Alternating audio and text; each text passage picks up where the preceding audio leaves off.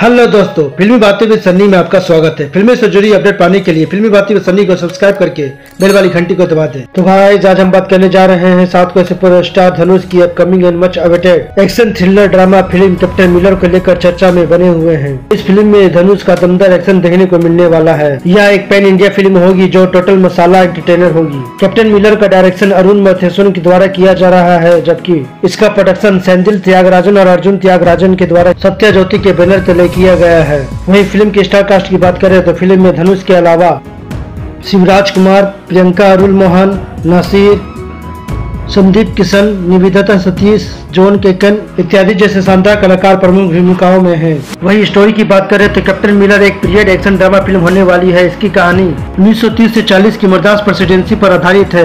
Film में धनुष के character के 15 साल की लंबी ज़िंदगी के उतार चढ़ाव दिखाए जाने हैं। यह एक इंटेंस और डार्क फ़िल्म है जो लोगों को काफ़ी पसंद आएगी। वही बात करें कैप्टन मिलर के रिलीज़ डेट के बारे में तो 28 जुलाई को इस मूवी के टीजर के साथ ही रिलीज़ डेट अनाउंस की जाएगी। फ़िल्मों से जुड़ी इसी तरह का अपडेट पाने के लिए फिल्मी बातें विद सनी को सब्सक्राइब करके बेल वाली घंटी को दबा दें। तब तक के लिए take care and bye bye अपना ख्याल रखें।